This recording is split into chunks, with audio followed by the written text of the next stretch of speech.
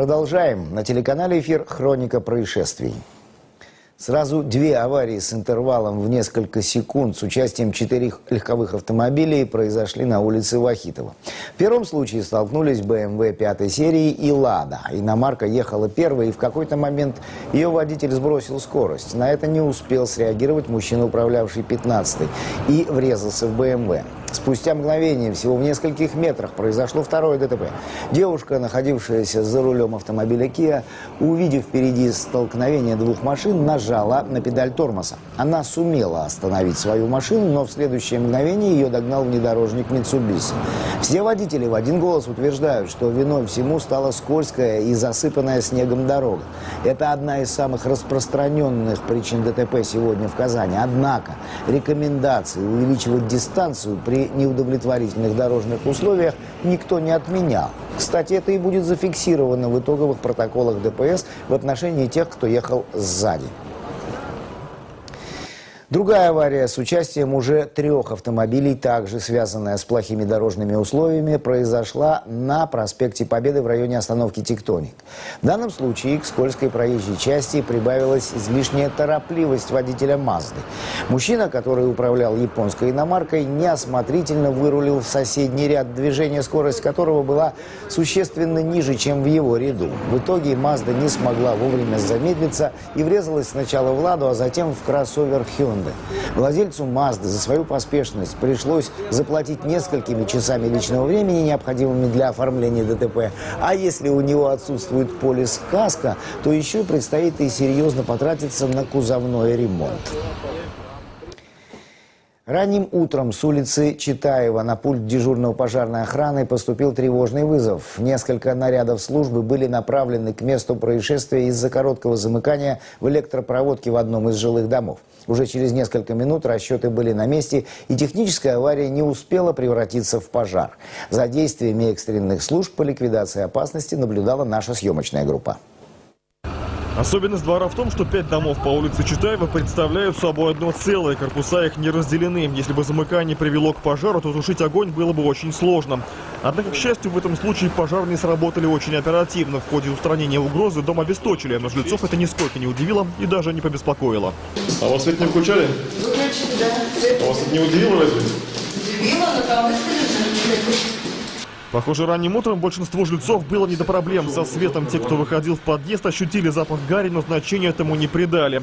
К этому времени пожарные уже сделали свое дело и уехали, не потревожив никого из людей. Ну, конечно, странно, но я не в курсе, в чем дело.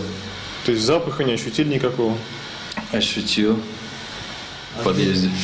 А на каком этаже не знаете? На каком именно, не знаю. Кто именно сообщил о замыкании, сейчас неизвестно. Тем не менее, этот звонок, похоже, уберег жильцов дома от большой беды. Неосторожное маневрирование на скользкой дороге привело к серьезной аварии на дороге в поселке Дербышки. Это ДТП оказалось зафиксировано камерой видеорегистратора одного из участников движения. На записи отчетливо видно, как «Лада» 14 модели на скорости, явно превышающей разумные в такой ситуации пределы, пытается маневрировать в плотном потоке транспорта и в итоге теряет управление. Столкнувшись с внедорожником, «Лада» после этого оказывается на встречной полосе и получает еще один удар. Из-за такой манеры езды пострадал сам же неосторожный водитель и пассажир, который находился в его его машине. Кроме того, теперь ему грозит лишение прав за выезд на встречную полосу, да еще и придется крупно потратиться на возмещение ущерба другим участникам ДТП. Ведь выплаты по полису ОСАГО при таком серьезном столкновении, как правило, не покрывают полностью стоимость ремонта. Несколько десятков человек стали сегодня ранним утром участниками серьезной аварии в районе жилплощадки. Невнимательность водителя автобуса стала причиной ДТП на пересечении улиц Химиков и Беломорской. Выезжая со второстепенной дороги, городской транспорт не уступил дорогу «Опелю». Несмотря на экстренное торможение, которое предприняли водители, аварии избежать не удалось. На месте происшествия побывал наш корреспондент.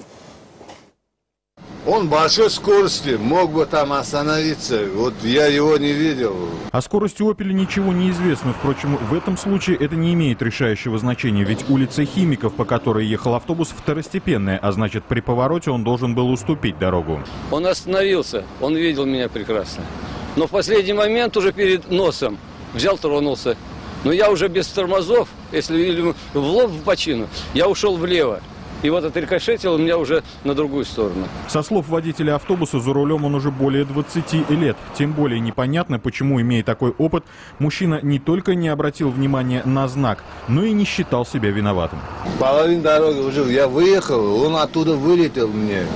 И на встречную даже тормоз не дал. От удара у автобуса вырвало бампер. «Опель» пострадал более серьезно, несмотря на то, что его водитель приложил все усилия, чтобы уйти от аварии. Зеркало, крыло, дверь, стойка ушла, это заклинило вторую дверь. Люди, сидевшие в салоне автобуса, благополучно пересели на другой маршрут. «Опель» после аварии хоть и остался на ходу, но иномарке теперь потребуется серьезный кузовной ремонт. Ну и возвращаясь к погодным условиям, на фоне которых сегодня происходили ДТП. На улице маршала Чуйкова молодой человек, управлявший Тойотой Прада, не рассчитал расстояние до впереди идущей машины и, чтобы не врезаться в нее, направил автомобиль в придорожный сугроб. Водитель рассчитывал, что снежный отвал погасит скорость и поможет остановить машину. Но тяжелый внедорожник пробил преграду, врезался в столб и задел припаркованную машину. Каждый день мы рассказываем об опасностях жизни, чтобы с вами такого не случилось. Это все, я прощаюсь до завтра.